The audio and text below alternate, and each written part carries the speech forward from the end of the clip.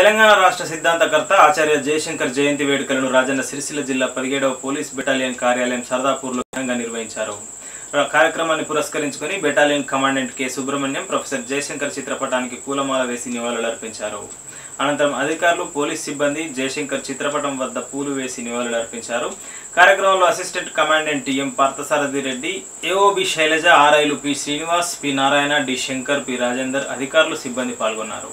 జరుగుతున్న అన్యాయాల పట్ల అసమాన విదేశాల్లో తెలంగాణ ఉద్యమాన్ని నడిపించిన తెలంగాణ ఉద్యమాన్ని గల్లీ నుంచి ఢిల్లీ దాకా ఢిల్లీ